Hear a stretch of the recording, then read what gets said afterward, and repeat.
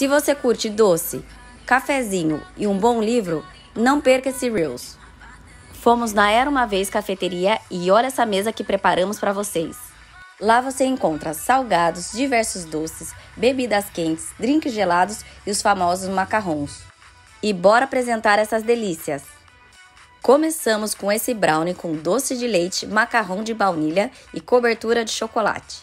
Estava bom demais! E o destaque vai para esse bolo de pera que vem com a fruta inteira. Gente, é sensacional essa sobremesa. E a super novidade da casa é esse afogato com sorvete de creme expresso e pedacinhos de chocolate. E a cereja do bolo é esse bolo de chocolate super recheado. E de drink, a Thalita pediu esse cappuccino gelado com chantilly e canela. Foi o preferido dela, lambeu até o canudo.